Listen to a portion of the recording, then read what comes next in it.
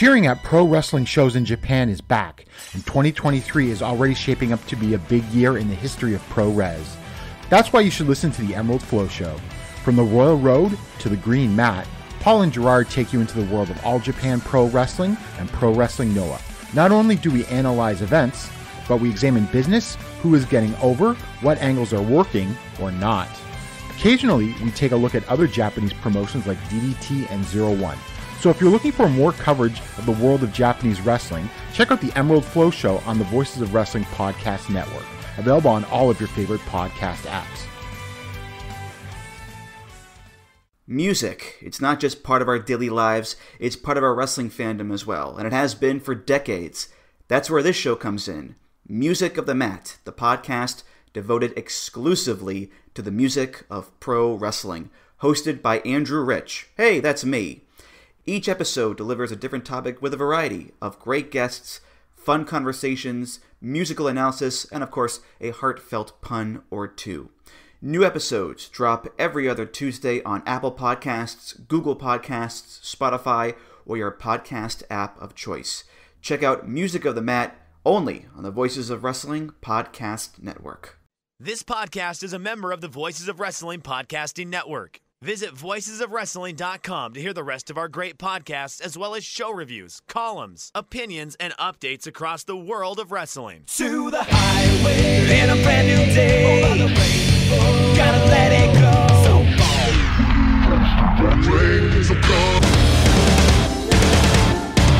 Fast to finger down. Dance tonight singing.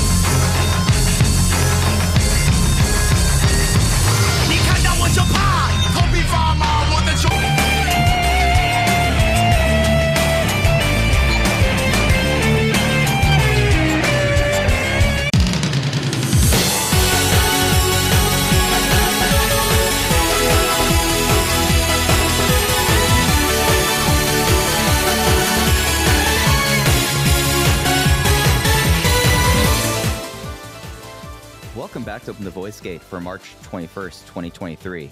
We are members of Voices of Wrestling Podcast Network. You can find us on the Voices of Wrestling podcast feed or our own dedicated podcast feed on all podcast platforms and applications. And while you're visiting those platforms and applications, please rate and review us Apple Podcasts, Google Podcasts, Spotify. However, you get the podcast, it's just the best way for new listeners to find out about Open the Voice Gate. If you'd like to support the show, click the link in the show notes. It'll take you to our redcircle.com landing site. You click the link that says sponsor this podcast and you get set up a one time, a recurring donation. No obligation whatsoever, but we would like to thank all of our previous donors. You can follow us on Twitter at Open Voice Gate. I'm one of your hosts. It's your old pal, Iron Mike Spears, joined alongside your other host, Case Sloan. Case, how are you this Tuesday? I'm hanging in there, Mike. You know, uh, as always, just tired, busy, uh, but we have the World Baseball Classic finals on as we record right now, and that has been such a bright spot uh, in my life over the past few weeks. So I'm hanging in there. How are you doing? How is can I ask? I don't know if we've talked about this on the podcast. Can I ask what your housing situation is? How that's looking? Where you're at in that process? Not that you don't have a home, but rather you're about to move into one.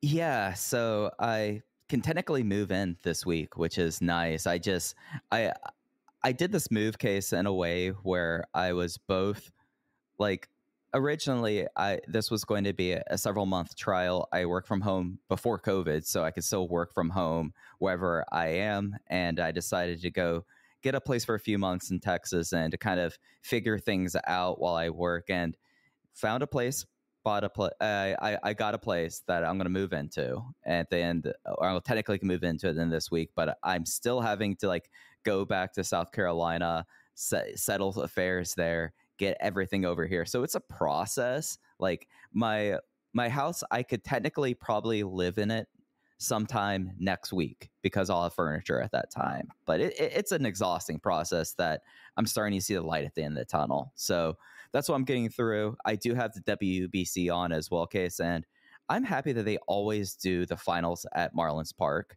It is such a beleaguered, uh, beleaguered, pardon me, baseball stadium that I have a lot of love for. And what I, my favorite baseball memory when I lived in Miami was the DB was the WBC because I got to see Puerto Rico versus the Dominican Republic with all their fans, and it just was such like a vibrant experience that like I know there are a lot of people who hate the WBC and think like the injuries are like awful and they should no, do away th- those it. those people are dorks. This is such an Thank objective. This is such an objectively cool thing that I look forward to, and I I quite frankly really missed it this time around. And I, you know, my baseball fandom wanes in and out quite a bit. But I have been locked in for this entire tournament. I, it, I really question anybody that doesn't just get the biggest kick out of the WBC. Yeah, and it's something that like did the world think a lot of the World Cup when it first was started in the 20s and 30s? Probably not. The World Baseball Classic's only been around really for like a decade and a half. They've only had 4 of them. Yeah, It takes time. And the way that Japan walked off yesterday and uh, did, did you notice like when when they walked off like all of the Japanese wrestlers going insane about it? Oh, did you see the photo from the Dragon Gate dojo? I forget whose account this was on. It might have been Don I think it was Fuji's. It was either him or ring announcer Kikuchi. Yeah, I think I think it was Kikuchi. Now that you mention it, just some some dudes enjoying, you know, quite frankly, America's pastime, and then also Mochizuki Jr., who admitted he has no idea yeah, anything about baseball, doesn't understand it, doesn't watch it. But that was that was a good time uh, looking at the lads there enjoying the the World Baseball Classic walk off. It's on the short list of sports things that I haven't done that I would really like to do. I'd like to attend a World Baseball Classic game, and I'd like to spend some time at a College World Series Super Regional. And those are those are kind of the big things on my sports checklist. So super regional, not even Omaha. Omaha's cool. There's something about the intensity of the super regional specifically that I don't know. It's a thing with my dad and I that we always look forward to it every year, and we just think that is the coolest thing. And I, I love college baseball. I had the opportunity when I was an undergrad to call college baseball. Uh, the University of Miami uh, used to be like the cream of the crop of college baseball. Had Yes. 40 or so straight uh, regional hostings until uh, recent years. So like I fully like when the light is kicking with a super regional, that's when I know Miami is back more so than ever. Even more so than right now, the University of Miami being 2-0 on the whole entire state of Indiana right now. Look, uh, that is a plus in the the Miami column. As I'm somebody who does not care about the University of Indiana at all. Fuck Bobby Knight. I also. Before we pivot to Dragon Gate, I'm going to say the biggest who cares thing of all time, but you brought up the University of Miami baseball.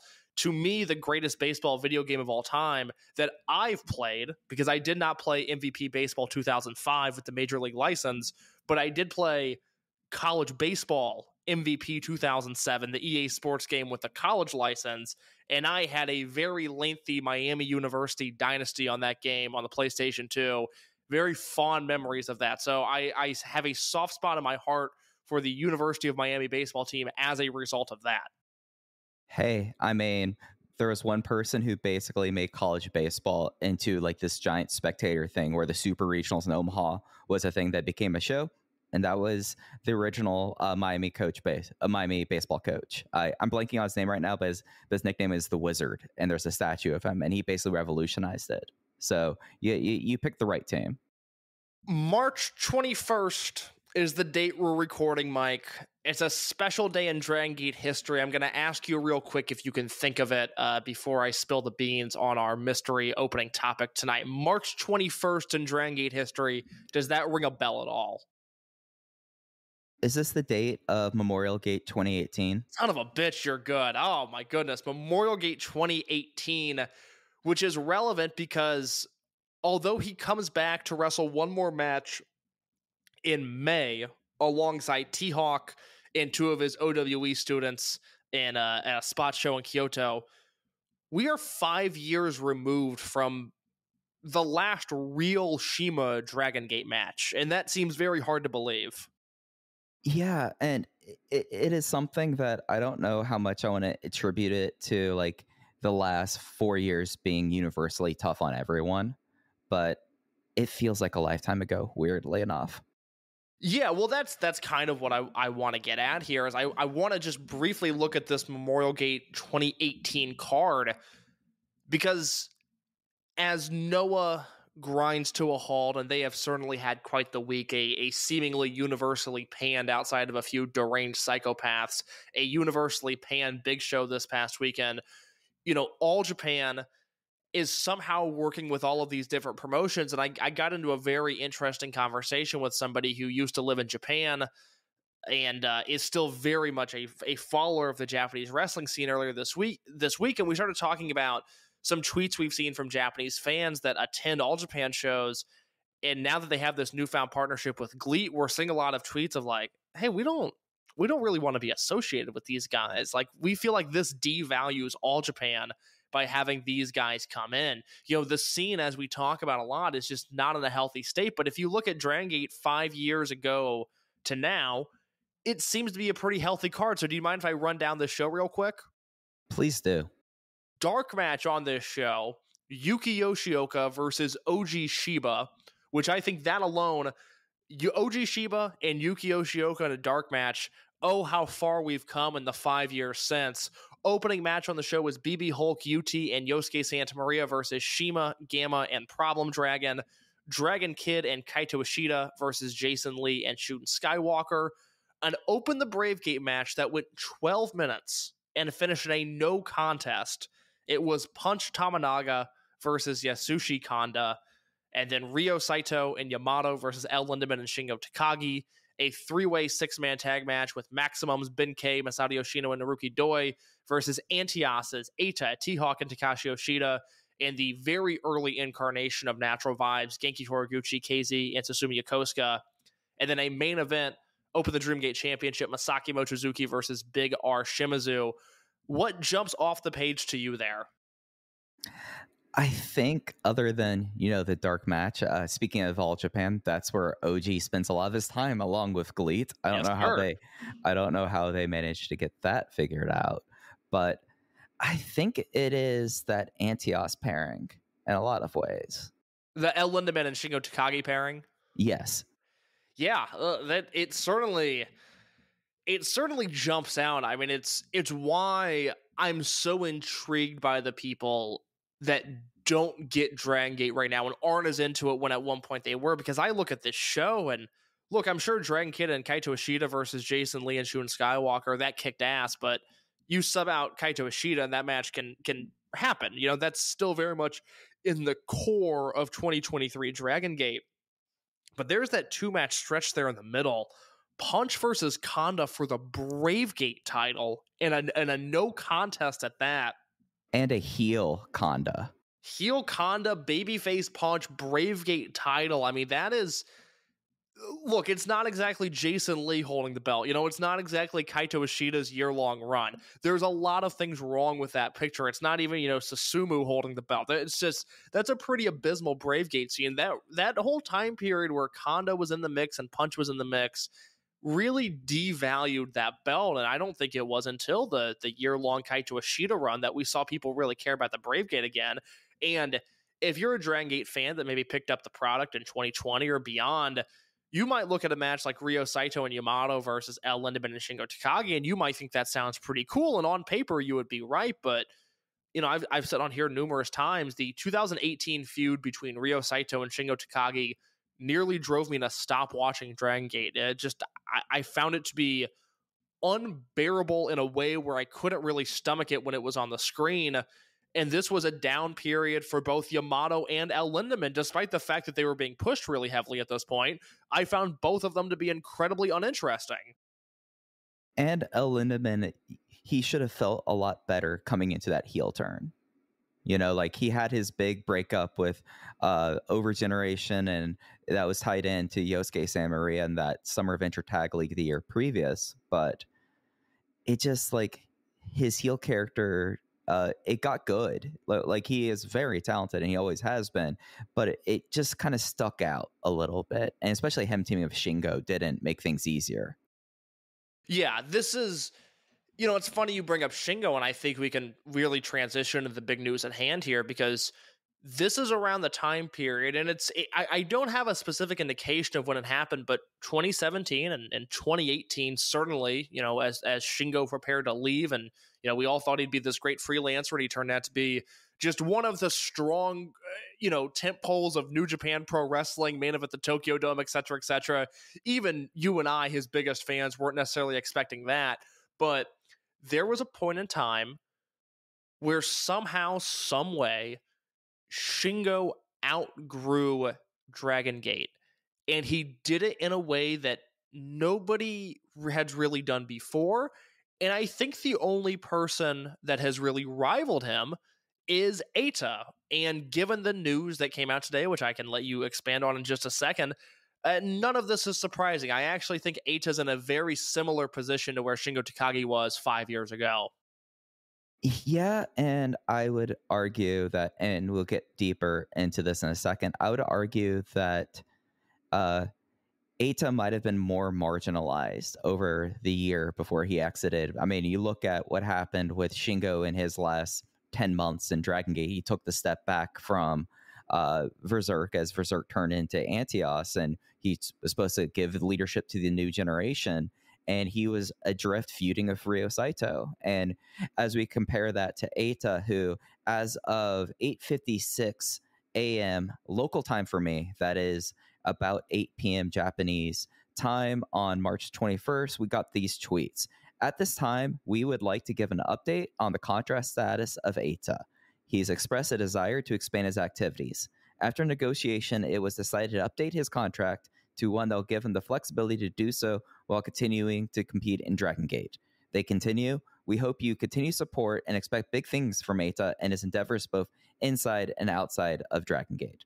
It's the it's the uh, worst kept secret and like the shoe that everyone was waiting to drop since last spring. I would say. Last yeah, spring? I I mean.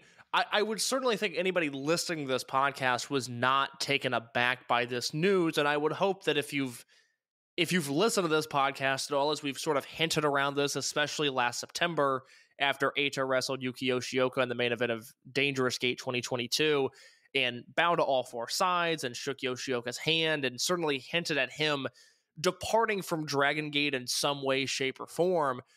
I feel like at that point we had a very rational conversation where there were some people wanting to jump off a cliff and say, well, they've lost Doi to freelance status and Shisa left and Gamma retired. And you had all of the, you know, this old guard that had been there since the start started to wither away.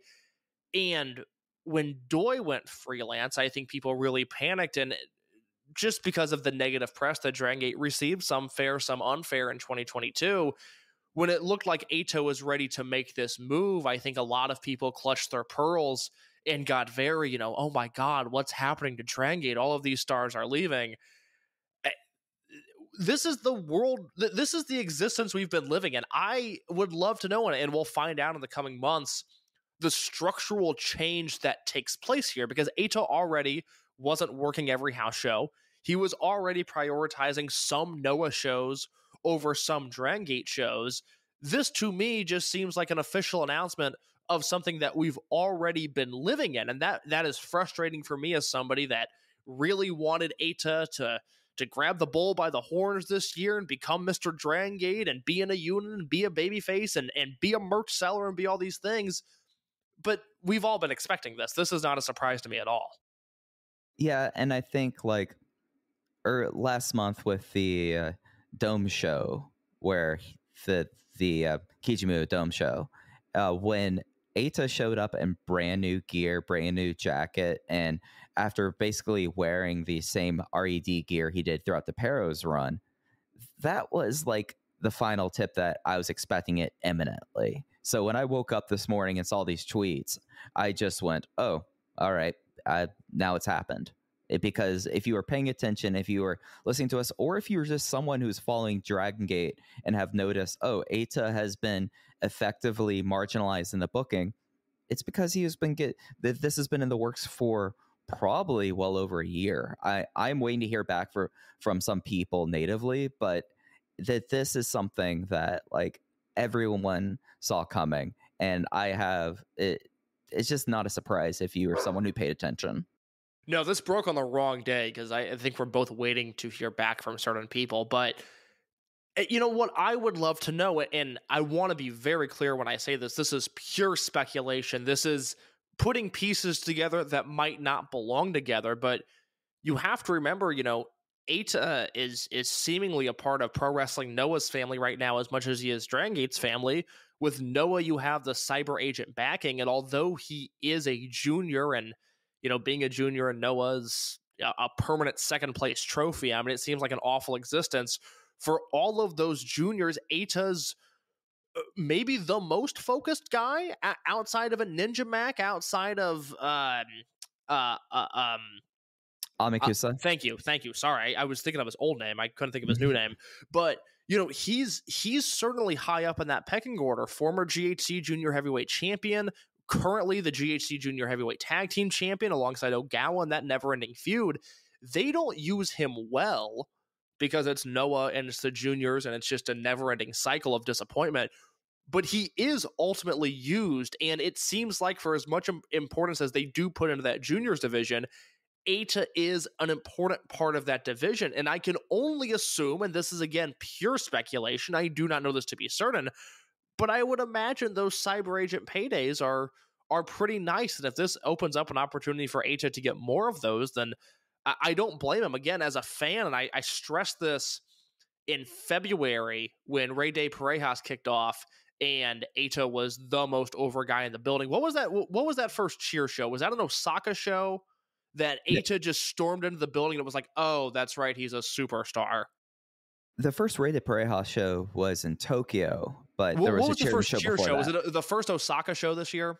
I think so. Yeah. Yeah, it was. It, he wrestled Fuda, and Eita came through the crowd, and you and I both had the same take on this show. We both had the same take privately. We're just like, oh my god. I mean, I we both just kind of forgot the fervor that follows Eita, wh- whether it's deserved or not. I mean, I scratch my head at it sometimes, but this was a guy that is certainly beloved by the Dragon Gate audience, but in a way, he's outgrown this position. And and you and I ran across a talking point today from somebody, and I'll, I do not have any problem stealing this point, as it was a native Japanese fan that made this this point. But look around, you know, Eita's contemporaries are gone. He has no generational rival. He has the class of 2016 already established as main eventers, and he's certainly not a part of that. He has no one from his era. You have to go back to, you know, borderline Toryumon wrestlers, or at, at the very least, Yamato and BB Hulk. Those are the guys that are closest to him, not this new generation. And it's put him in a very awkward position uh, from a booking standpoint and just from where he fits in in the overall pecking order.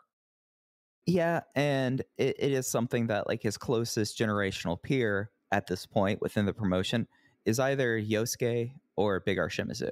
Or UT. Or UT. And, you know, it's one of those things that with those three people, it's very clear why they are not Eita's generational rival, even though there's been the Yosuke storyline off and on for almost a decade. So I I, I guess like for me, and this might be a place where we uh, diverge. I think that yeah, Noah Cyber Agent money that is absolutely a factor, and it is something that not with this, and this is just colloquially. I remember, and I forget who exactly mentioned this to me, so I'm not going to attribute it. And I'm just saying, like, this is a recollection. I remember that when Tozawa left, which by the way, have you noticed him in the crowd tonight, Case? Oh, I'm I'm devastated he's wearing a St. Louis Cardinals jersey. Yeah, me too. Me too. Best fans in baseball, my butt. Oh, but, the worst. But uh the, the thing about him leaving and the rumor was about his contract in WWE was he was essentially making the same amount of money, if not a little better.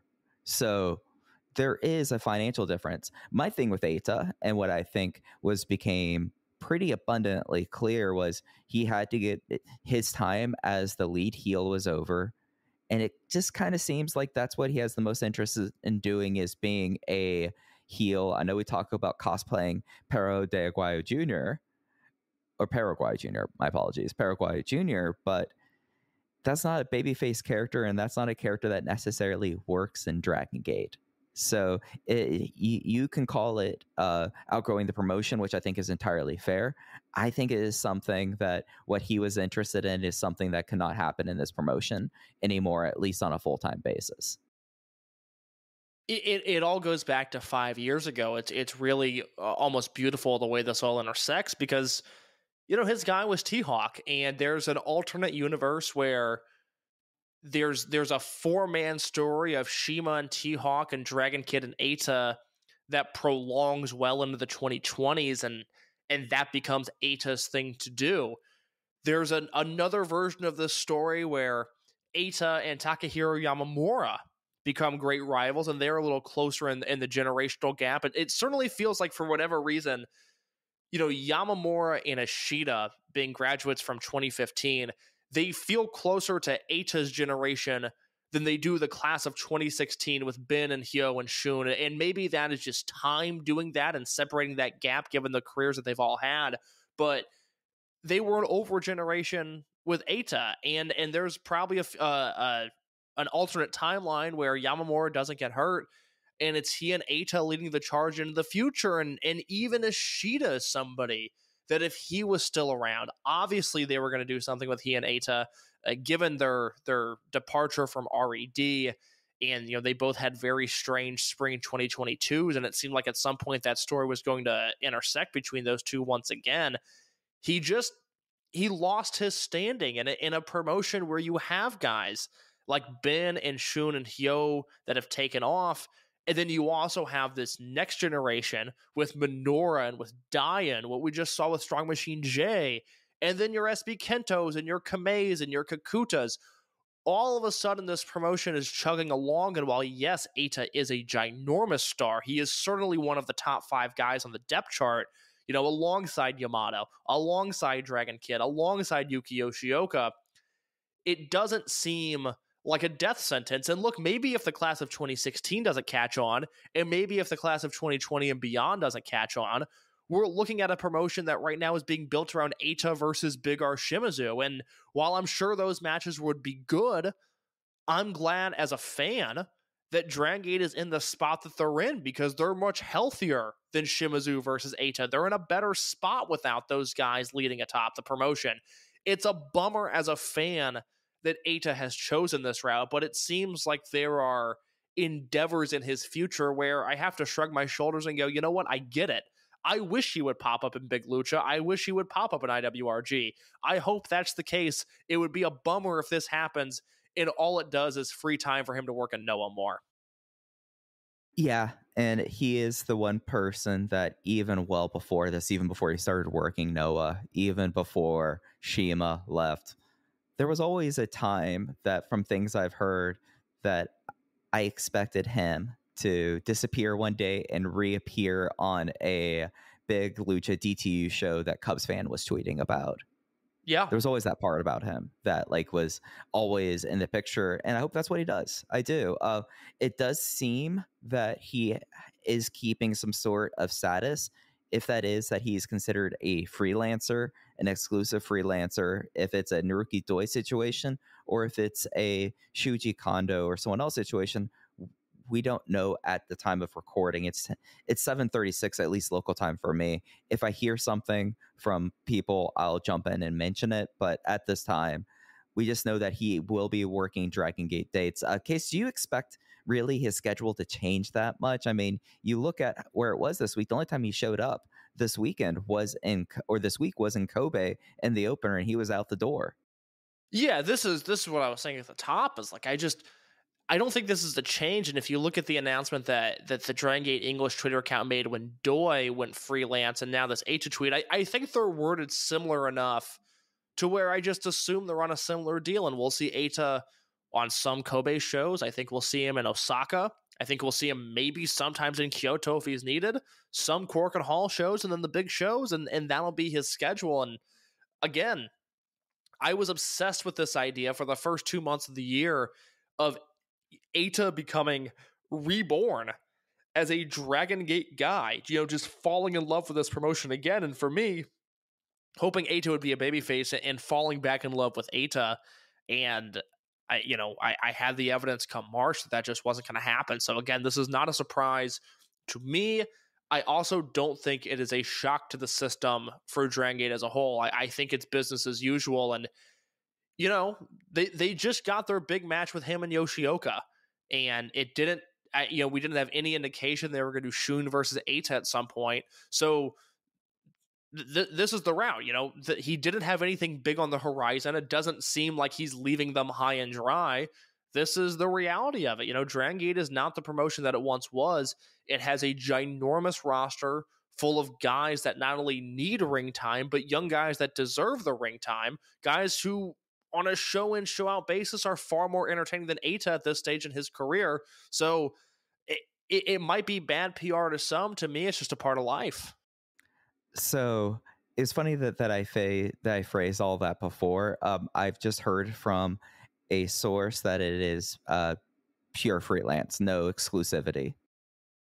So that's a is that a little bit different than Doi's, or is that the same deal that Doi has? Uh, it sounds like it's different. At least the my impression, the way that I phrased it, I basically asked that we're talking about a Doi thing where you get first dibs of dates or true freelance, and the response I heard was freelance. Interesting. Okay. So uh, I still I, will we'll, we'll find out, but you know, as of now, and, and again, if I record this 7:45 Central Standard Time, basically on March 21st. I I I, I don't think Eita's schedule will change that much. I'm okay with being wrong on that. Perhaps I'm out to lunch. Perhaps we see him at Kobe World, and and that's it. But I don't get the impression Eita's in Dragon Gate is changing all that much. Yeah, I am with you on that. That was not the only big event case, however, this week, and we have a whole lot of stuff we're going to get in, into this week. But the next thing wanting to touch on is off the heels of a pretty standard Memorial Gate card. It looks like we are getting the Dreamgate picture in hand for the March to Dead or Alive as Madoka Kikuta challenged Shun Skywalker. Everything was set, and then who else to show up and rain on the parade? It's Minoura. Are we getting a we're getting a debacle phrase too as we are now having a number one contendership match at the August at the April fourth Korakuen between Madoka Kikuta and Kota Minoura to see who gets the Dream Key and who will likely face Shun Skywalker at Dead or Alive. Case you called your shot. It still might happen, but you but you had to know you were going to get a little bit of Kota Minoura in on this. This fucking sucks. I I have no interest in this Minoura versus Kikuta match. I, I mean, it would make more sense. Tell me if I'm wrong. It would make more sense to have BB Hulk in the spot rather than Kota Minoura, right? I mean, if you look at the booking, uh, Minoura's been booked strong, but it. I mean, Hulk makes more sense there. It was something that I wonder, and I will probably reach out and try to find out. I wonder if there's a big disparity between international fan opinion and native opinion about Kota Minoura and how he's subjected in this way. Because I feel I, like I, look, look at the gates from last year, Mike. I feel like the native fans were were uh, uh, in line with us, not interested. fair enough, fair enough, but it is. It, it, I don't know why they constantly like to unnecessarily make things complicated for themselves, and then when things turn out the way that should turn out, the booking it makes sense and is logical. They solve that problem. I don't believe in patting them on the back from that after last summer. Like Kikuta might is likely going to win on the fourth and will main event, or at least be challenging for the Dreamgate title at Dead or Alive on May fifth, but why was this step necessary other than needing to have a big singles match in Korakuen next week or in two weeks? If it was Doi, if it was Kondo, if it was KZ, if it was Shimizu, if it was Kai, if it was Ishin, Diamante, uh, you know, uh, I'll, you know, I'll throw uh, either Mochizuki out there, Susumu, Masaki, or Junior. If it was any of those guys, even if it was BB Hulk, I wouldn't have a problem with it. But this just exposed an old wound that didn't need to be exposed. And I am fascinated to see what Korakuen Hall is going to look like that first week of April. If this show does under a thousand fans, oh my God, do we have to reevaluate the future of Kota Minoura's career? And look, the guy's not even 25. There's a part of me that says don't overreact. But if he crashes another gate as a proposed main eventer, when Madoka Kikuta is so objectively hot right now, oh my god, do we have something to discuss? I I just don't see any reason why Minoura should be involved. And if you want to tell a long-term story of him being the Dreamgate ca- crasher, that was fine last year. but we saw enough evidence. Look at the houses in June and July, from the June Korakuen through Kobe World 2022, and how abysmal they were. And then once Yoshioka got that belt and Minoura got phased out of the main event scene, it's weird. Fans started coming to the building again. I guess they were just really busy in June and July as Dragon Gate built to their biggest shows of the year. I, I am so nervous for what's to come. I have the utmost faith, a undying trust in most Dragon Gate booking. And I don't trust this at all. I am aggravated by this decision. I do not like it. I like Minoura, yet I want him nowhere near this match. The match is Shun versus Kikuta. They're the two hottest guys with a built in story that wrestling bookers would kill somebody for more often than not to get something this poetic with those guys being as hot as they are right now. Don't get in the way of this, Kota Minoura. Please. And I don't think of a better. I can't think of a better way to summarize my thoughts. Case Hughes took them all out of my mouth. oh, out of my mouth here. Oh my God! Is Mike dying on the other end? Mike Spears. I just had a cough. I just Mike had a cough. Spears, I'm good. a rare on-air cough. He couldn't get to his custom-built cough button fast enough. Yeah, uh, I'm gonna have to wear that. I, I'm not editing that out. Well, let's talk about the other stuff that happened Memorial Gate. We had three title matches: Triangle, uh, Twin, and then also the Ryukyu Dragon Pro Ryu Championship. They led off with the Triangle Gate with uh, Gold Class versus the rookies and Don Fujii, Kaito uh, Nagano, and Yoshiki Kato. It was an R301 on Nagano for Gold Class to make a defense, and it's up on YouTube. I have to say, Case, I feel like this was the most complete Yoshiki Kato performance that we've seen so far. And I think working with my wrestler of the month, Don Fujii, is what brought him to that. Yeah, really disappointed. Uh, Big Dave did not crown Don Fujii wrestler of the week that week of the the Korakuen Hall show and Champion Gate in Osaka the first week of March because I, I say it in jest, but also this was a guy who was just doing tremendous, tremendous work as Okamoto blast one out to left center field, Mike, in the World Baseball Classic. That was a bomb.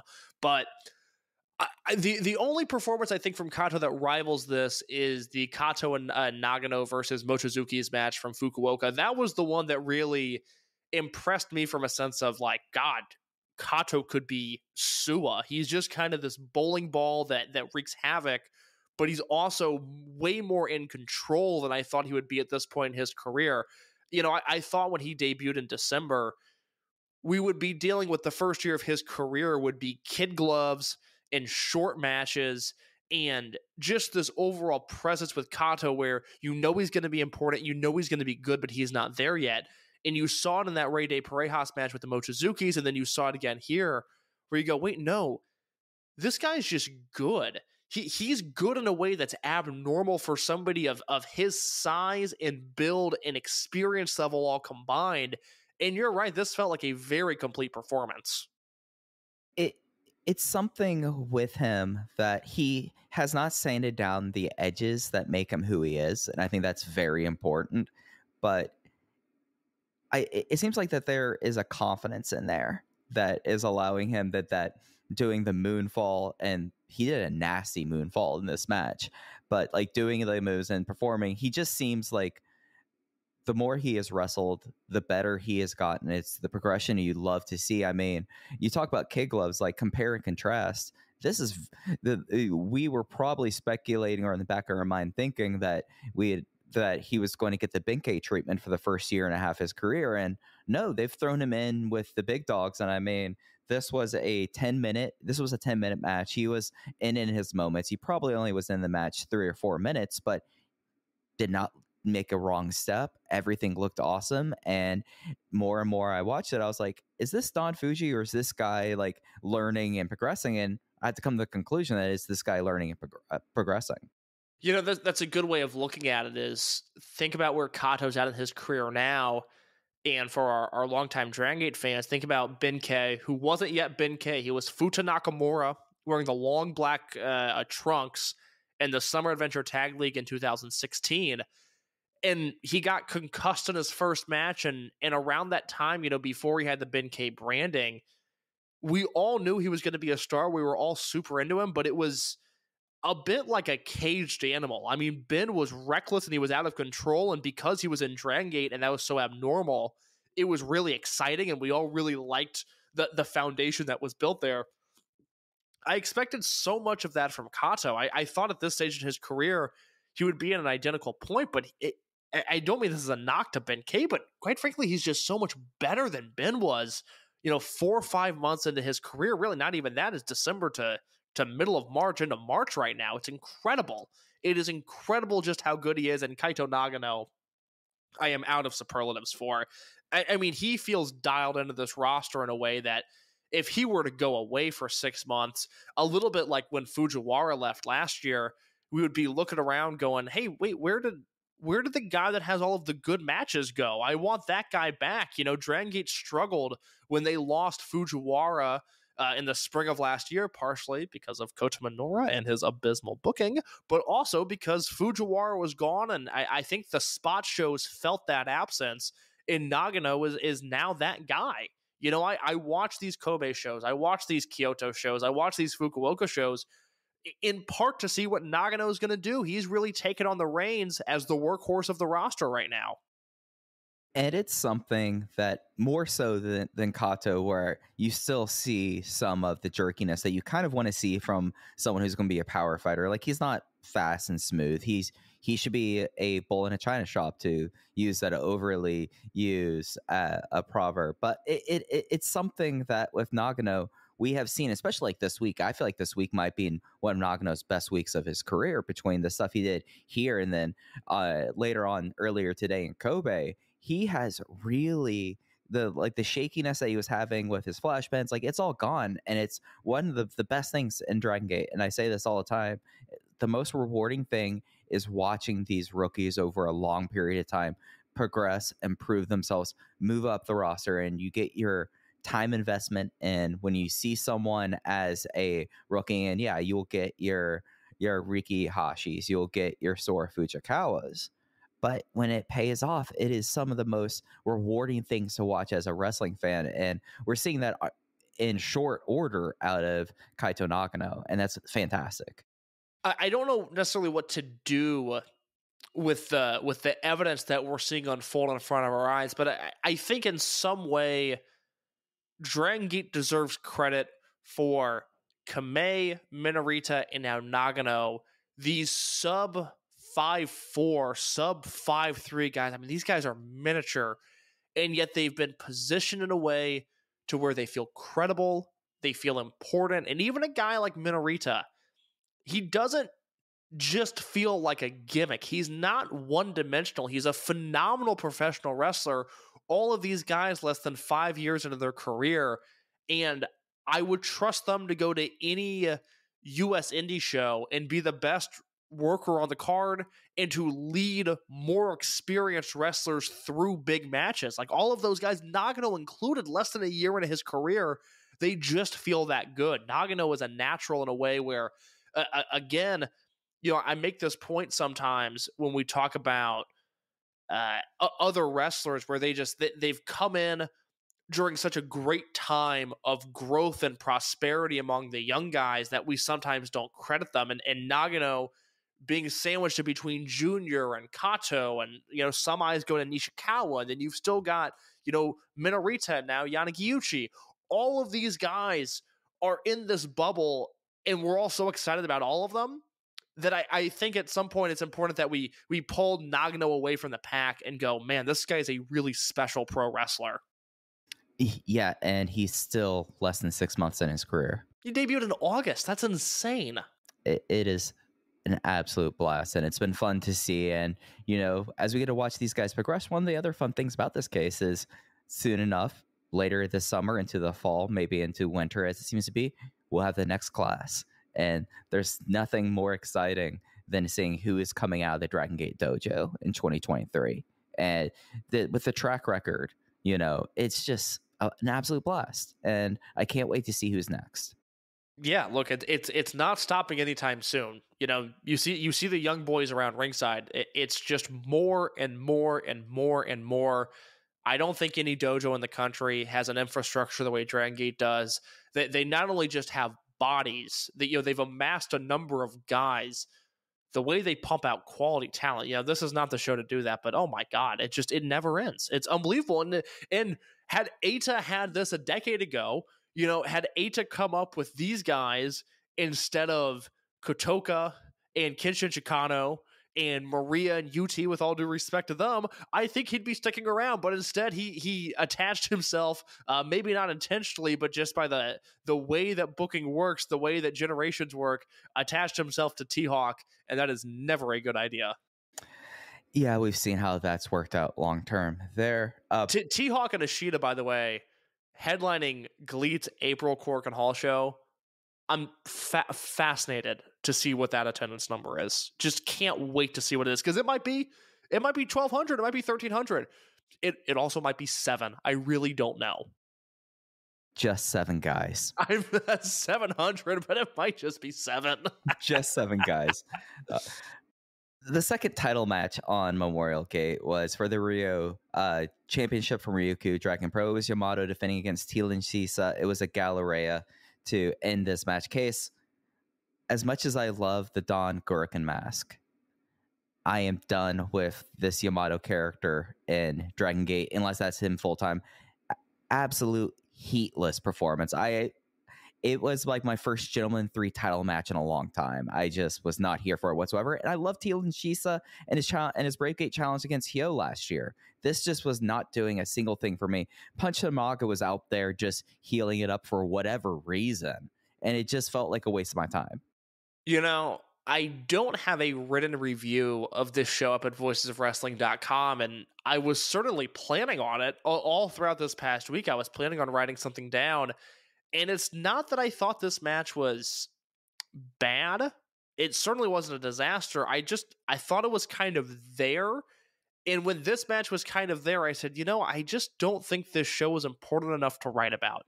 And luckily, we got we got some help from Phil Schneider at the Ringer of all people, who wrote about the main event. So it got some written coverage that, that can be remembered in the remembered in the annals of history. But I, I'm glad you said that thing about Punch being out there because I was going to ask you what did I miss? Why is he there? Why is Punch Tominaga in this semi main event match between two guys that I enjoy? I enjoy this Yamato character a little bit more than you do, but I, I don't like it when punches his attendee and he's playing a giant role in a title match. That was very annoying to me.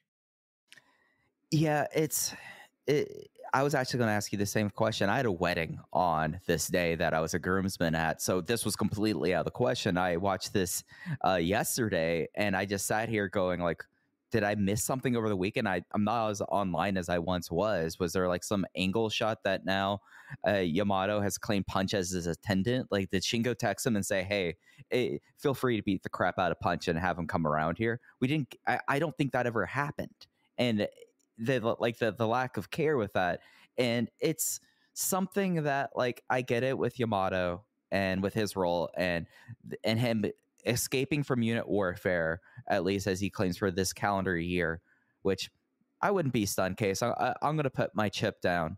I think we're getting a Yamato heel turn if not by uh Kobe World, uh, not Kobe World, if not by Gate of Destiny, but by the end of the calendar year, because it really does feel like that they're kind of raising up the water, letting the frog boil a little bit so that Yamato to whatever Z-Brats becomes, Z-Brats will be two years, will be ready for it to transition out. I think that this is kind of just like uh, like preparing everyone for the fact that we're probably going to get a heel Yamato run to close out the year and going into 2024. That's interesting. You know, I hadn't really thought about that because I just think Yamato was so ingrained in his current state with the fan base that that's the the, heel version of Yamato is what we got in this match, which is almost done in a tug and cheek sort of way. You know, it's really over the top. It, it's certainly not the vibe of a heel unit leader in this current incarnation of Dragon Gate. I, I don't I don't see that happening just for the fact that I don't know if they need him to do that. I would support it. I, I think it would be super interesting, but I think they have enough guys now. I think this is the future of Yamato. You know, I think it's this, and then I think it's more units kind of like high end uh, with a with a larger focus on the Dragon Kids and the Kagetoras, you know, maybe not the young guys. I think his career is outsider heel when he's wrestling in other promotions, which he's done now in New Japan and in Ryukyu Dragon. And I think he's a veteran army guy. I, I think we've seen Yamato as ingrained in storylines as we're going to. Yeah, and that's not to say that Yamato won't have future Dreamgate runs. He's still relatively healthy, and it, there's, and I don't get any inkling that he's about to like to to lead the company or anything like that. This isn't one of those things. I see him more like Masaki Mochizuki, I guess, at going into the future. Masaki Mochizuki got Dreamgate runs into his fifties, and but he was not like a central character as he was in 1999 through 2003. I would love to know what a 2023 version of Yamato versus Shun would look like because they have such great chemistry. I really love their 2021 match, but it it just seems like there would be a lot of hurdles. I, this is so odd to say because it's Yamato. He's the the five time Dreamgate champion, but to get to that point, just seems like there are a lot a lot of guys way ahead of him in the pecking order right now at this specific time. And I would love to know if they're going to do that, how they would get to that. Yeah, like he, it, you would almost assume it would have to be a long heel run, and you're running out of face challengers. That finally Yamato, the ace of the company, steps up, right? In theory. Yeah, that's that. That's where you would have to go. But again, I you know I feel like even like a Masaki Mochizuki, given his history with Shun, he would be in front of him. You know, I, I think Dragon Kid is always lurking in the wings as a possible Dreamgate contender. I think Doi's in the same boat.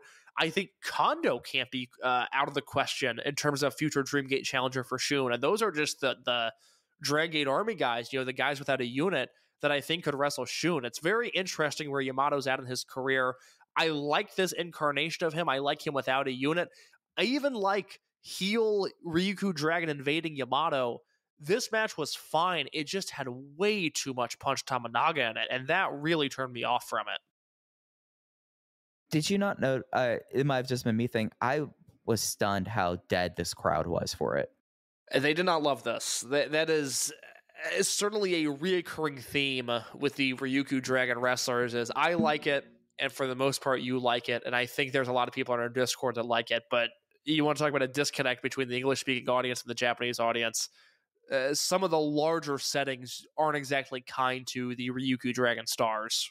Yeah, I think that's absolutely fair to say. And you alluded to it. The main event for Memorial Gate 2023 was Big Time versus the Mochizukis. Uh, KZ and Big Boss Shimizu make their sixth defense of the Open the Twin Gate titles with a Cobra Twist pin on Mochizuki Sr. Phil Schneider has an excellent recap of it up on the ringer, especially talking about Mochizuki Jr. in this. But case, easy match of the night and match of the week for Dragon Gate. What a fun Twin Gate title match. As I look at my match of the year tracking sheet right now, I have a number of Dragon Gate matches at four and a half stars, nothing higher, and obviously a few lower at four and a quarter and four stars. Match of the year is still Shun versus Yoshioka to me, followed by Kikuta and Yoshioka versus Susumu Mochizuki and Yasushi Kanda. And I would put this match right behind those two. This is a top three Dragon Gate match of the year for me right now. I'm sure that'll change, but I'm sure by the end of the year, this will flirt with my top 10. I thought this was brilliant from start to finish. I'd like to hear your thoughts on it. I was a shade lower. I was four and a quarter on it. It's still probably one of my top five Dragon Gate matches of the year at this time. I just thought it was such a fascinating way of continuing the Mochizuki storyline, along with Jr. really making the step forward where he decided to basically work the first five minutes of this match as a chin check, trying to see how many times he can get punched in the face by KZ. And Case, this won't be a surprise to you, but if you're going to give me people getting punched in the face in a wrestling match, I'm going to have a great time. And it was something that I, the, the there was the moment that during this like opening third where uh, KZ really rocked him with an elbow and dragged him to the corner, and Shimizu just pounce, pounce on him as a monster. And I was like, Big Time is my favorite tag team working today. This is just exceptional stuff. And that is just like not even to mention that Mochizuki got in there, bailed out his son, who was almost at his level, and we started to get the best chemistry in Dragon Gate of the last decade. KZ and Masaki Mochizuki. The perfect gentleman, the perfect German kick out going right into Junior did a fucking Orihara moonsault out of nowhere here, Case. Uh, look, this is the best junior match that I've seen. This beats out Gate of Destiny last year when it was the Ishin heel turn and it was Ishin, Kai, and Shun versus uh, Father Mochizuki, Mochizuki Jr., and Susumu Mochizuki. This beats out the father son tag team versus Kato and Nagano from Fukuoka, like I talked about earlier for Rey de Parejas. This is the best junior match I've ever seen. He does, as you put it, the fucking Orihara moonsault to the outside. And his strikes in this match, and that's why Phil Schneider loved this. I mean, it's still eh, it's such a jarring thing for me to read Phil Schneider talking about Dragon Gate, a guy who, you know, is a necro butcher fetishist and a southern indie lover and a guy who focuses way more on punches uh, than moonsaults, let's say. He was attracted to this match because of Junior strikes, and I, I was in the same boat here. I, I mean, another guy, we talked about Nagano, you know, debuting in August and being as good as he is, but Junior – Eh, we're talking about one of the all-time great rookie years, and we just had that conversation with SB Kento, and we just had that conversation with Takuma Fujiwara. It's why it's necessary, and I've brought this up a few times. You know, just the the young guys in Dragon Gate are changing the way that we have to look at rookie years because we've now got three that I think rival a Kurt Angle, that rival a Jun Akiyama, that rival, you know, if you want to say a Matt Riddle, uh, although I certainly don't want to, but his rookie year was outstanding. It, this is the company that these guys are in. And Mochizuki Jr. led this four and a half star match. You know, he was every bit as good as KZ was. I loved him and Shimizu in this match. And then even the the, the interaction between he and his father, uh, this was all top notch stuff. Yeah, it is something to go well out of your way for. Case, did you notice that now the the Dragon Gate Network has things up for longer than two weeks? I, or longer I'm, than a week. I, am almost afraid to point it out because I'm afraid if I say it, it will go away. Yeah, uh, everyone, you have a little bit more time, it seems, to go watch Dragon Gate stuff. It's not always the seven days. We don't know why it's 14 days. I'm certain we can ask and find out, but wow, it, that this is something worth going out of your way for. And it's it's something that was even remarkable to see how much Wakayama that this that this venue and this show that over the years the meaningfulness of Memorial Gate. I mean, case you put it up your you you put it right when you were like, I don't know if I should do a written review for this. I'm not.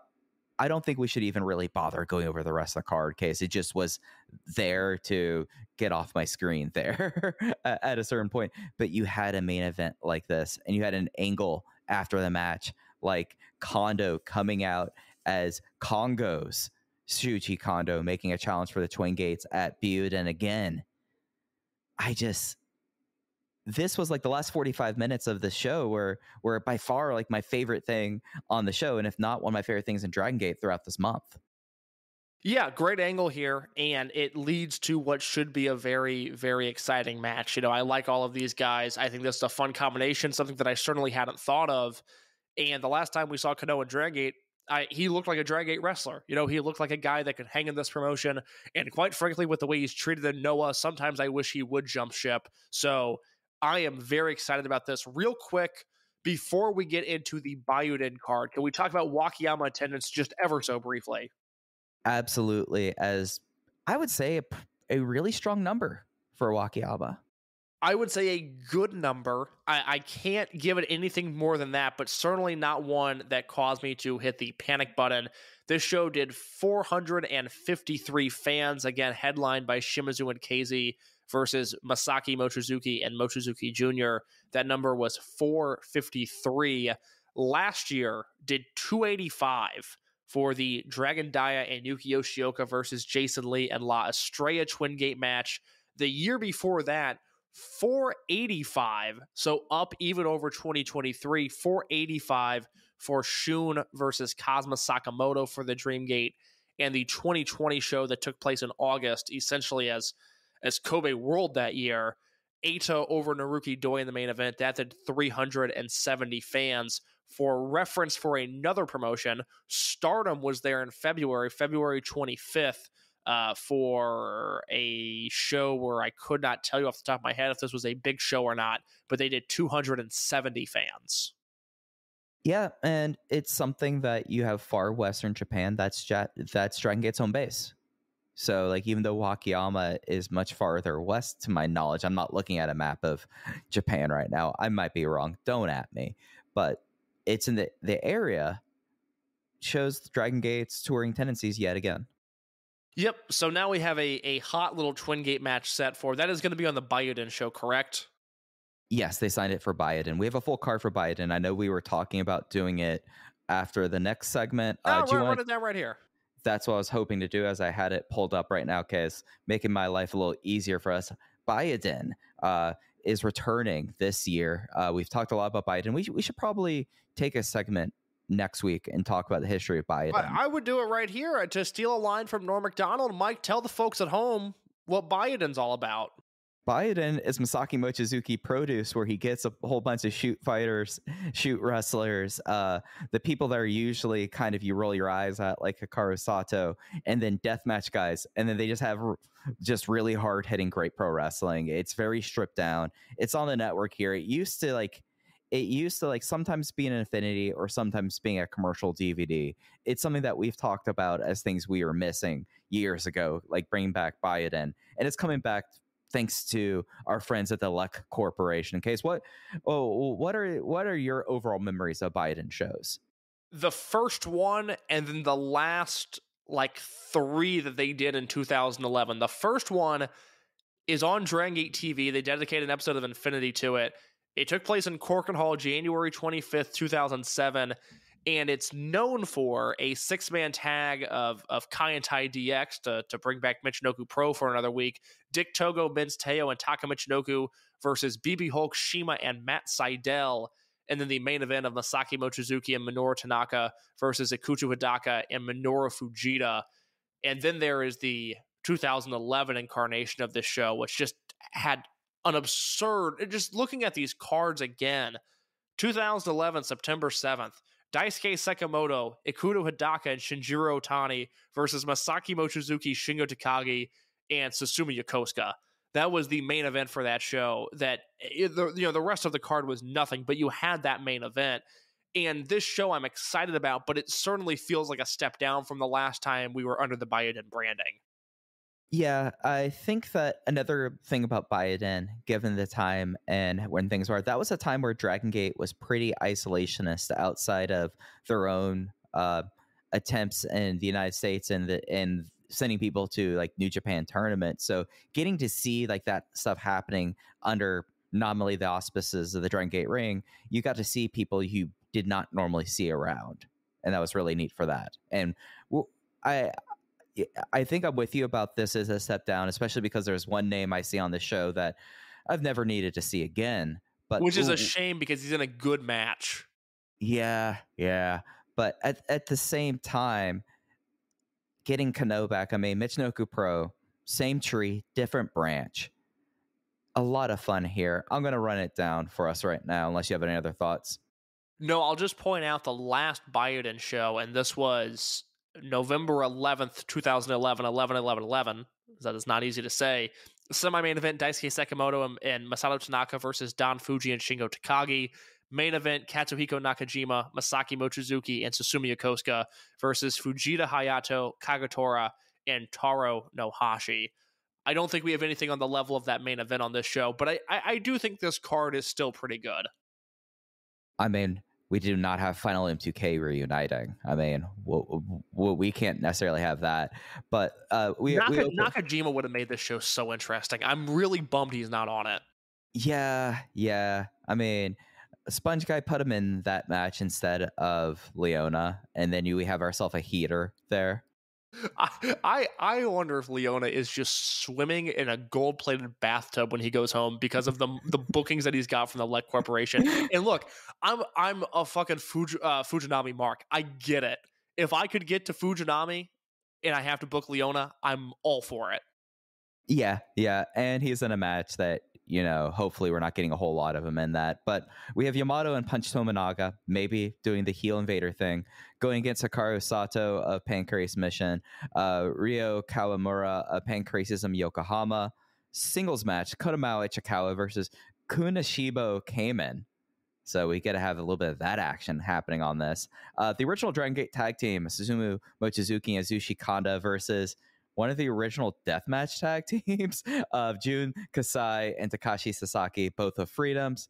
Uh, we have Don Fujii teaming with Madoka Kikuta versus Masato Tanaka, Takuya Sugawara. That was the person I was groaning about was Sugawara, but uh, they both represent Zero One. Lech Barason special six man tag team match. Masaki Mochizuki, Mizo- Mochizuki Jr. and Leona versus Strong Machine J. Fujita Jr. Hayato and Taro Nohashi, and then the aforementioned main event open the Twin Gate Championship match. Big time. KZ, Big Boss Shimizu defend against Kongos, Kano, and also Shuji Kondo. Man, Leona really sticks out. I I kind of forgot who was on the opposing side of that match, and I'm now regretting my Leona defense. Yeah, man, it's uh, maybe Junior has to have a lot more chin checks here. I mean, he does have to kind of like get up against uh, Junior Hayato. Yeah, right? Ju- Junior uh, Junior Kama Masa- uh, Mochizuki versus Fujita Junior Hayato. That that's a combination that, quite frankly, makes me want to get on a plane. I mean, I want to be in the building for those kicks. That that is what we like to call a spicy little number, if there ever was one. Yeah, so that's April fourth. That'll be on the Dragon Gate Network. I uh, would imagine one of us will review that since it's going to be on the network. Um, that'll be interesting. You know, Susumu and Kanda versus Kasai and uh, and Takashi Sasaki. That is a really interesting match. I don't know what that'll look like. I think Fujii and Kikuta versus Tanaka, and even you know Sugawara is there, and it's unfortunate, but Kikuta versus Masato Tanaka, that's something to get excited about. And then those last two matches, you know, again, you remove Leona from the equation, that's a ton of fun. And then KZ and Shimizu versus Kondo and Kano, that is good stuff right there. Yeah, and it's just interesting. Like I like the like we get the sense that this is really like Masaki Mochizuki kind of booking these things, and be fascinated to see someone give him a book. Someone give him the book. Uh, well, whatever whatever's happening with the office, that's fine. Whoever's in the room, I want to see six months of pure, unadulterated mochi brain happen. Mochiism should be alive and well. Well, I I weirdly think these shows are a great reflection of the Japanese scene because you know look at look at the guys that he used. He used zero one guys in Otani. He used Big Japan guys and and Sekimoto, and I think at times Okabayashi, and a lot of Kensuke office guys, and and then you know the the wrestlers he'd get his hands on from Noah, and that fun just sort of undercurrent of Japanese wrestling that is gone now, and, it doesn't mean that it's gone forever, but like I've stressed before, we're at a current time and place I think it's the weakest junior scene across the board that there's ever been. And it's reflected in shows like this. You know, it's reflected when you can't pull from Michinoku Pro other than Hayato. It's reflected when there's no Kensuke office, there's no young guys there to use. It's reflected when the Big Japan Strong Division, although they're not juniors, when that scene is just completely depleted. It hurts shows like this specifically. Yeah, it's I would have loved if somehow there was a new hot up and coming Big Japan strong guy that would I, get up in here and go up against Madoka Kikuta. I've been saying that against 2016 since uh, 2016. I think Big Japan would love to have that guy. yeah, yeah, yeah. Uh, that that the, is uh, the most interesting scene where it just all of a sudden one day it just stopped. It was like uh, I the last like great Sekimoto Okabayashi match, I think it was 2016. It was July 2016. It was right around World and that Super J Cup and yeah. New Japan G1 Climax. And then it just it just stopped. And I think Okabayashi had a long term injury, and Sekimoto eh, started showing signs of age. And then it was like, well, is he going to be an NXT trainer? What's his deal? He's got one foot out the door. And Kamitani's never done anything for me. And it just, it just with the snap of a fingers, Big Japan just never recovered. I mean, that was 2014, 2015, 2016. That was as trendy of a Japanese promotion as there was in the English speaking fan base. And I, I remember going to wars with people there's specifically there's a Daisuke Sekimoto versus Shuji Ishikawa match March 31st, 2015. And Dylan Hales, a guy that I respect, a guy that I like. I mean, we went to war over that match because I thought it was a five star match, and and Dylan Dylan uh, certainly did not think so. You know, thought it was uh, uh floating uh, f- floating around being a dud. And it was this great, you know, Big Japan discourse, and and one day it just stopped, and it has never returned since. And that's like reflected by their business as well. Oh my I god, mean, yes. that this isn't like international fans like when people were like oh collegia pro like and that was people are talking about it nonstop because it was free wrestling put on during the middle of covid and then everyone stopped and it was like not reflective of reality whatsoever big japan i mean the ball stopped and it's not just a perception thing No, I, as as the flagship podcast pointed out at the start of COVID, and they were right. You know, Big Japan had to keep running, or else they would fold. They they needed whatever cash flow they could get from those live shows, and I, I don't know if they ever took a break. They you know, whereas Dragon Gate, you know, paused at the at the beginning of March and then came back and did Empty Arena March, April, May. I, Big Japan, I know at one point pivoted to Empty Arena, but I don't think they really ever stopped operation because they couldn't afford to. and they had the whole issue with fan fundraising a bus breaking down and all Yep. that too Oh, yes, they did. Yep, yep, yep. Uh, that was not the Buyuden angle was not the only big angle, as I misattributed earlier. They had two other shows that happened over the weekend. Nagoya, the after the Nagoya main event, that was when we had the Kota Minoura debacle V2 happening, but we also had some interesting stuff happening with the Mochizuki family that continued into Nagoya, then onto Kobe, Kobe today. Case. Yeah, very much so. It looks like M3K, uh, if they're not coming to an end, it is certainly not all right in the extended Mochizuki family when you factor in Susumu and Kondo. We had a match booked uh, coming off of today's Kobe Sambo Hall show for this upcoming Korakuen card in uh, the first week of April.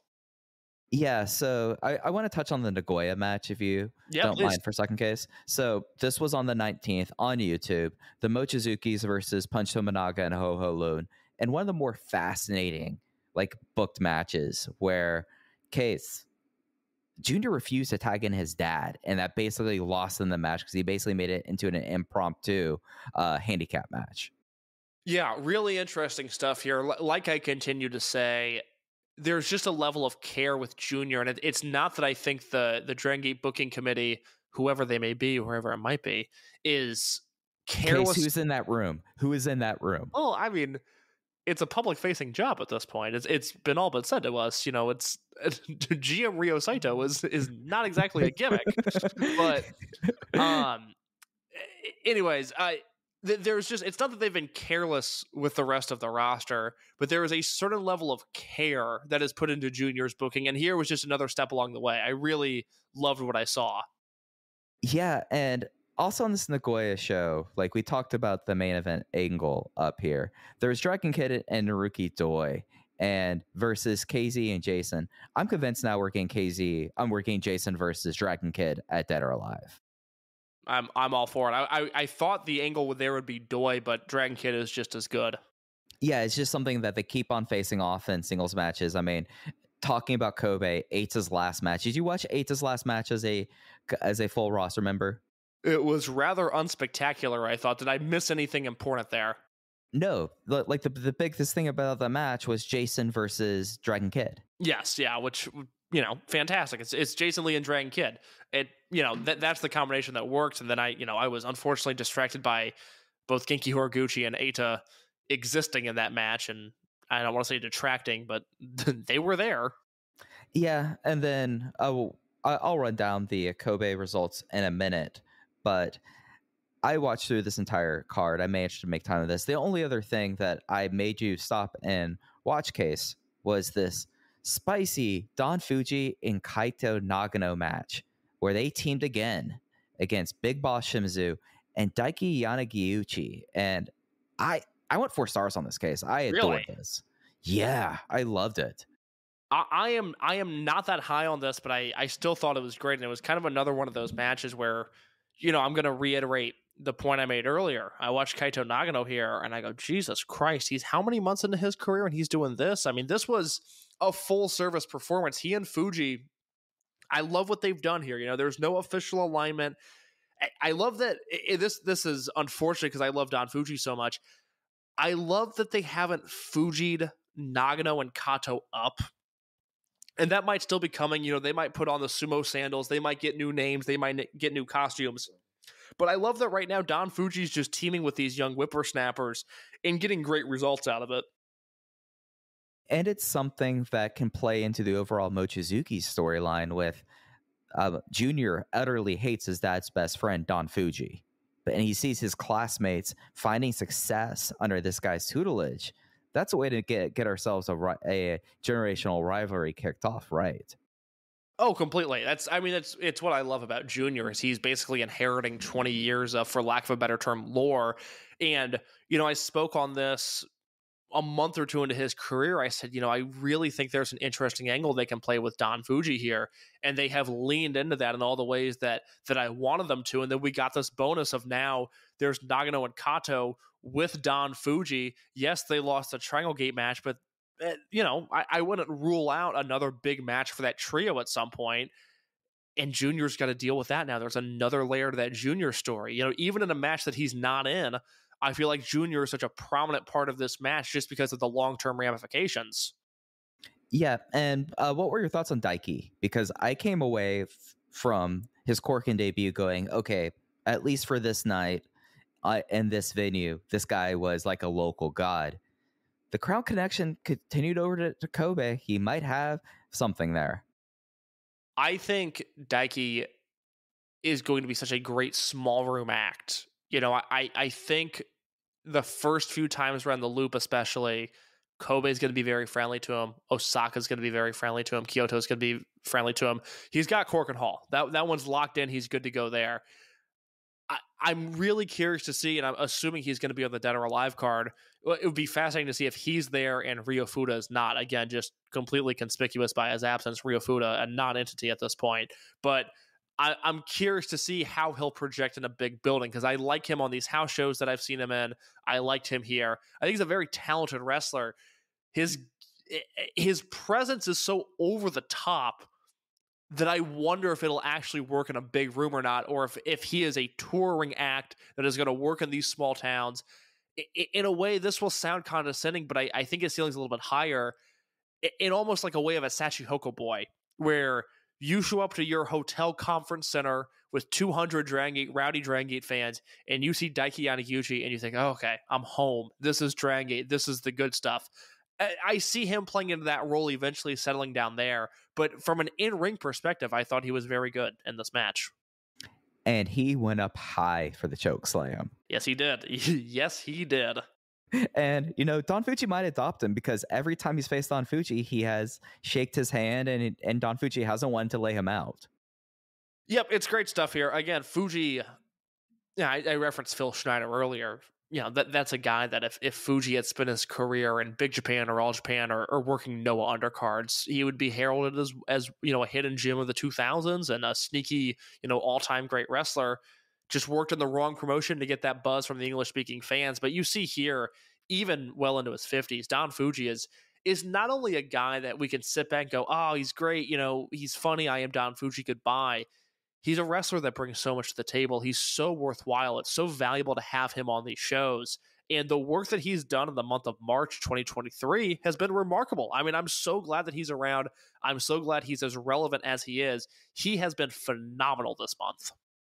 And, and just to to make it crystal clear, everyone, my Don Fujii love is not based on irony. No. I fully love this wrestler. He he's not like one of my top three Dragon Gate wrestlers of all time, but he is someone that I will be I will be crestfallen for days when he announces that he's going to wrap it up case. He has just been such like a heartbeat of the Dragon system for so long, and he's continue continuing to contribute in its 24th year. I mean, we must have had a, a quarter century of Don Fujii. Are you ready?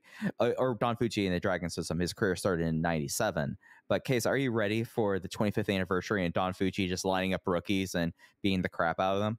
I truly can't wait because I felt like his 20th anniversary special was a little strange because it kind of, if I remember correctly, got lumped into Shima's and it was like that weird, like Shima and Great Fuji, Sasuke. Yeah, and then the Sasuke showed up, and whatever Sasuke shows up, I tune out. So I'm I'm hoping for better in his 25th anniversary.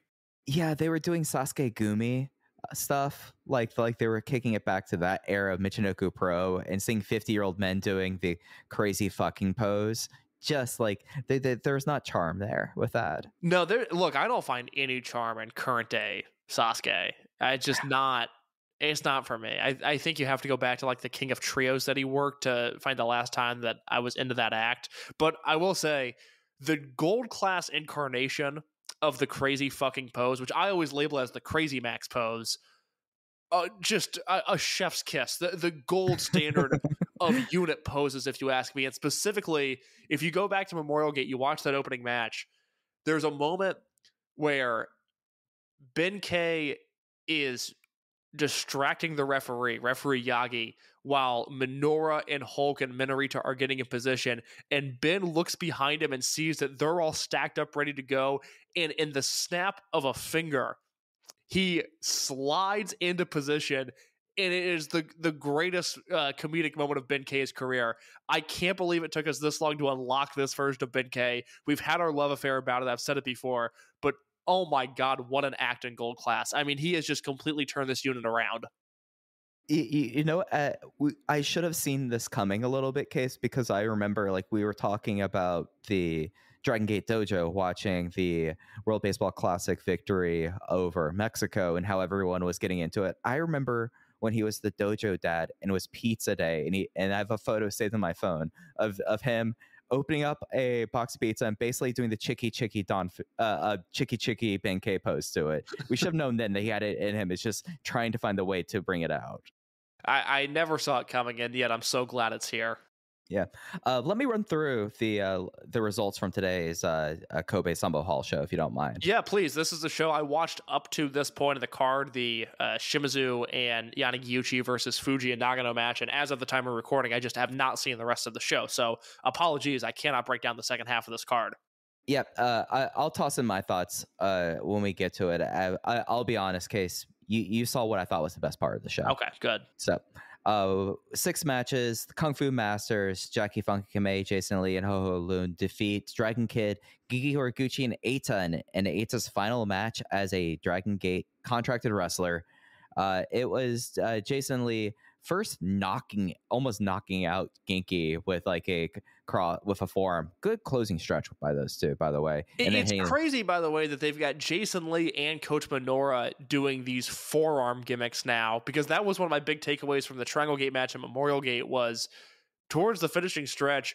Minoura hits Nagano with a forearm shiver in a way that just kind of made my jaw drop. It was so violent and unexpected coming from Minoura specifically. Yeah, and he like hooks the the other arm so it's it traps great. him. It's a great move. It's sick as hell. Sick as hell. Uh, second match, Minorita defeated Punch Tominaga with a Minori Tanic. Uh, it was eight minutes. That tells you what you need to know there. The aforementioned Don Fujii and Kaito Nagano defeating Big Bashimizu and Daiki Yanagiuchi with a choke slam on Yanagiuchi. Konomama Ichikawa, Shachihoko Boy, Kagetora, and Takashi Yoshida defeated the full complement of M3K as it was a backfire of a Jumbo no Kachi hitting uh, hitting Masaki Mochizuki going right into a Kagenui. And after that, we had the angle setting up the original tag team versus Mochizuki's at Korakuen. Uh, semi-main event: Yamato and Shuji Kondo defeat uh, KZ and Strong Machine J, uh, King Kong Lariat of Kondo over J. I thought it was mostly kind of fine. Uh, three-way trios: Shun Skywalker, Kai Hyo defeat D Courage, uh, Yuki Yoshioka, Dragon Dia, Madoka Kikuta, and Gold Class Kota Minoura, BB Hulk, and Benkei. This was a one fall to a finish match, and it was when the uh, knee salt was on Dia. I just I, I kind of came from, away from that match cold, to be honest. Like like it wasn't a bad match. It you know what this match actually made me think? Z-Brat somehow has really been whittled down to basically these three guys and Ishin, and Ishin hasn't really been around since the end of Rey de Parejas this month. They lose something without Diamante. There's just a certain Yeah. flair that he brings to the table that is that is needed because Shun and Hyo and Kai more or less bring the same thing to the table. You know, it, it's it's heavy character work. It's hard hitting. It is, you know, especially in the case of Hyo, a thinking man's heel, and Ishin certainly doesn't have that, and Diamante doesn't have that, and when SB Kento was in the fold, he didn't have that. So you had a very diverse unit at one point, and with the injuries and with these uh, with the excursion, it's suddenly not that. Yep. Uh, did see on Twitter, I don't know, it was since we recorded a Diamante posting saying, hey, uh, surgery went well. I'm well on the road of recovery. And he was eating an ice cream cone. Love to see it. Yep. Uh, uh, one other thing from Nagoya, okay, so we did not touch on. Uh, hometown native UT was at the show. They did have the full six man version of Party Anthem happen, did not make the YouTube cut. KZ tweeted afterwards that his doctor has okayed him to the next level and he's able to do the dance and he's preparing for his return. Yeah, UT, not KZ. KZ is uh, perfectly healthy as far as I'm aware. But yes, UT did the dance in his hometown. In a show, Mike, I, I want to briefly touch on the Nagoya attendance because it's a, oh, a favorite do. topic of mine. They did 1,002 fans for this show. And as I continue to bring up, you know, this was in the Nagoya International Conference Hall. I think when other promotions run it, it's under a different name on Cage Match, which is a little frustrating. I think it's the Nagoya International Conference Center Hall for other promotions. But uh, looking at this last year, you know, March 20th of 2022, they did 551 fans. August 7th, they did 608. December 12th, they did 969. And then here, March 19th, 2023, 1002. Stardom is a really interesting uh, promotion to look at in this Nagoya market because they've run shows that have hit 1,200 fans in this building over the last year. And they've also run a show that had 466 fans in the building this past year, that same venue. And I don't know enough about Stardom, quite frankly, to figure out why that is. I just know there is a drastic uh, dip and then increase in attendance depending on what they book for these shows. But the other promotions, you know, All Japan ran here three times last year, 400 fans, 500 fans. Noah ran here once last year, 559 fans, and that was a pretty loaded show. Big Japan did 324 fans here last August. DDT did 529 last September. They ran this building February 18th of this year with Naruki Doi versus Canada in the main event, 398 fans. So you're looking at a promotion there, DDT, even using a Dragon Gate guy they scraped 400. Dragon Gate now doing back to over a thousand in this building. My my larger point here is this is as good of a market for them uh, as, as uh, any other market other than Tokyo, where they're still obviously uh, you know very strong as is almost every promotion. But Nagoya is a sweet spot for them. You know, Nagoya Ichi specifically, Dragon Kid's hometown, UT's hometown, SB Kento's hometown. This is where they clean up, and I'm really excited to see what the number for Dead or Alive is this year. Last year they did 2640 with Kai versus Susumu on top in the Aichi Prefectural Gymnasium. And I think they can flirt with the business that New Japan has been doing there. They just ran that building uh, as I quickly scramble to try to find that number. Uh, New Japan has run there twice this year. They did 1650 for Shingo versus Great-O-Khan headlining in New Beginning in Nagoya, that MMA rules match, and then uh, 2190 for a New Japan Cup show. So in the big building, in the big Aichi building, Dragon Gate Dead or Alive uh, outdrew those shows and outdrew a G1 show that they did in the same building last year. So very interesting stuff in Nagoya. I mean, I know I went through that fi- uh, kind of quick. Does that all make sense, Mike? Yeah, and I that just leaves me with one question: How can we convince Gaora to add Nagoya back to the TV loop. I wanted to see this full show. I you know, oh yeah. The, the, did you watch the YouTube upload? Yes, I did. I, I went, loved it. I, I, went four stars on that main event. That was D Courage versus Z-Brats, and I know we just sort of ragged on Z-Brats there, but that main event was excellent, and we got Jason Lee versus KZ, or Jason Lee and KZ versus Dragon Kid and Naruki Doi, which I went three and three quarters on, and then the aforementioned Mochizuki's versus Ho Ho and Punch match. What we didn't get was Ben uh, Ben K, BB Hulk, Kota Minoura, and Minorita versus Genki, Nagano, Yamato, and Kato. Uh, Big Boss Shimizu versus Konomama Ichikawa, and Susumu Mochizuki and Yasushi Kanda versus Jackie Funky Kamei and Strong Machine J. I would have liked to have seen those matches.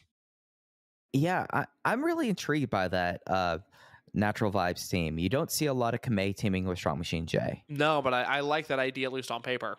Oh yeah, no. I, I I feel like that there really is money in a big small tag team with Kamei as the small guy. Yeah, absolutely. I, I, Yeah. I'm with you there. I'd like to see more of that. Yeah, no. Uh, let's bring it back to the loop. Let's do that. Uh, no more Dragon Gate Network shows for the month of March. They will be back with uh, and also Korakuen on the fourth. Case we have one last thing on the docket. I am ready to remember a guy. This week, remember, a guy is brought to us by our friends at Canadian at Canadian Broadcasting Company (CBC). Uh, uh, restating the rules as always. Case will get six clues. Play along at home. The first clue is always what their dojo era was. If if Case somehow was able to name it, if it was Toryumon Japan and Case said Dragon Kid, and if he was correct there, ten points. From there, we have five clues of not very useful to incredibly useful, and letting Case figure it out there. We go five, four, three, two, one. There, Case, are you ready to remember a guy? I am ready to remember a guy. What do you have for me this week? He is from Dragon Gate Next. Is it Lupin Matsutani? You're in my brain a little bit, but I like where you're thinking. No, it's not Lupin Matsutani. Okay. This person, like Daiki Yanagiuchi, former staff member at Dragon Gate at one time. Oh, I'm- now I'm trying to think of the Dragon Gate next guys. Is it Kenshin Chikano? No. Okay, thank God. I I don't I don't want any more hints for him.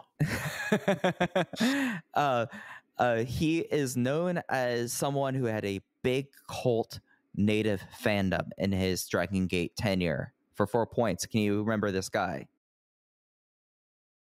Dragon Gate next. Cult following. The way you phrase that makes it seem like he's not around anymore. Oh, who who was that guy? Um, he I actually I just saw his name on a Buyuden show, but I can't. Oh, uh, was it Katsuo? It was not Katsuo. Uh, this cult fandom got him into King of Gate. Case we play in honor rules here. Got him in a King of Gate. It hmm. Is it Problem Dragon? No, it's not Problem Dragon. I and you were alluding to something uh, when I was talking about cult fandom. I believe this person is completely out of wrestling and no longer a member of the Dragon Gate office. A certain time ago, he was removed as a staff member. Removed as a staff member. I, at least from the roster page, he was a listed staff member on the roster. Oh, huh. I'm trying. Well, the only the only staff member I can think of is Anthony W. Mori, but he's he's still around, and uh, he came in earlier than that. I'm trying to think of this person. I don't. I the only name I can think of. I'm not even sure if they're considered next or if they're considered something after that. Is it Kotoka? Good guess. It is not Kotoka. Uh, he went before that. Uh, the last clue, the best clue. This person's gimmick while in Dragon Gate, at least the one under their their name, Tozawa Juku's Bannerman. Oh no! Oh, this doesn't help me at all. Um, Tozawa. I can't even think of who was in Tozawa Juku because it was Arkin and Tozawa, obviously, and Katsuo. I think. Mm-hmm.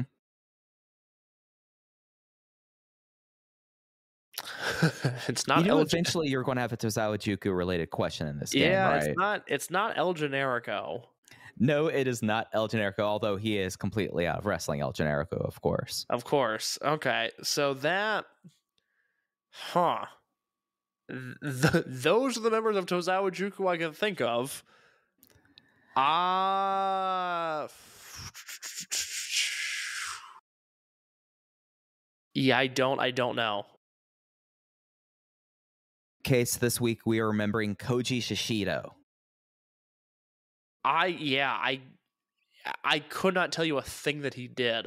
I know So- that name, but So Koji Shishido, uh, for those who did not know, in case uh, he was a Dragon Gate Next member who worked in the office somewhat after he was outside of active participating. He was incredibly popular when Tozawa Juku formed because he was a stoic, silent flag bearer, and no one really they didn't really portray him as a wrestler until he, I think it was Don Fujii who like tried to like rip out Tozawa Juku uh, flag, and then he flipped out and they had like a fan vote one year for who should be the like the wild card into King of Gate, and he was voted in. And that was pretty much the end of Tozawa Juku was pretty much the end of his in ring career. However, allegedly for a couple of years there was someone uh, with his body type who uh, wrestled under as one of the Mass Florida brothers. Yeah, I I don't think I've ever seen that angle. That that is new info to me, and I'm I'm very glad you gave it to me, as I always enjoy some Tozawa Juku lore. Yep. Uh, the other full time roster member who you left out, actually, there's two. Uh, uh, Tozawa Juku. One of my other guys, Taku Iwasa, and of course, uh, part time uh, Tozawa Juku student who graduated before the rest of them, Anthony W. Mori, or as when he, or as in that gimmick, he wrestled as Takayuki Mori. Yeah, I it, it a lot of these hints made me think of Mori, but the him being in the next class really threw me off. Yep, uh, that is usually the most useful hint you get before we get to the end is the class.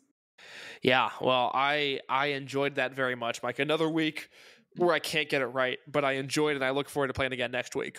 Yep, uh, I'm going to have to change it eh, because I did have Kenshin Chikano planned as next week. And he's too Oh. fresh in your brain. He's too fresh in your brain right now. But I look, I, I change it now, but don't worry. Kenshin Chikano would have been well out of my brain by this time next week. I have you you you, you got to know I will always have a bunch of guys for us to remember. But case, unless you have anything else, let's get out of here. No, that's that's all I got. All right. Uh, thank you all for listening. If you would like to support the show, you can click the link in the show notes. It'll take you to our redcircle.com page. You can click the red box, sponsor this podcast, and you can set up a one time or recurring donation. No obligations whatsoever, like I said at top, but we'd like to thank all of our previous donors. The best way to help open the voice gate out and getting new listeners is to go to iTunes, Apple Podcasts, whatever they're calling it now. I've never, I've not used that app like in a decade. Case, I think it's Apple Podcasts. It I've is. signed us up for it. Yeah, Apple Podcasts, Google Podcasts, Spotify. Rank, rate us five stars, leave a review. I don't know how the algorithm work, but it helps people discover the show. You can follow us on Twitter at Open VoiceGate. Cases at underscore in your case. I'm at Fujiiheya. Thanks for listening to the Voice Gate. We'll be back with you next week. Take care, everyone. Music. It's not just part of our daily lives, it's part of our wrestling fandom as well, and it has been for decades. That's where this show comes in. Music of the Mat, the podcast devoted exclusively to the music of pro wrestling, hosted by Andrew Rich. Hey, that's me. Each episode delivers a different topic with a variety of great guests, fun conversations, musical analysis, and of course, a heartfelt pun or two. New episodes drop every other Tuesday on Apple Podcasts, Google Podcasts, Spotify, or your podcast app of choice. Check out Music of the Mat only on the Voices of Wrestling Podcast Network. Hello, do you like New Japan Pro Wrestling? Are you a Shin Nihon freak? If so, check out the Super J-Cast with Joel and Damon on the Voices of Wrestling Podcast Network. And even if you fucking hate New Japan Pro Wrestling, listen to the Super J Cast anyway. Not just for our great show reviews, analysis, and pastrami sandwiches, mm, but there's also usually some dick jokes somewhere in the obligatory opening 30 minutes of absolute nonsense we chat about every single week. That's the Super J Cast for all the best talk about New Japan Pro Wrestling, crisps, and pornography.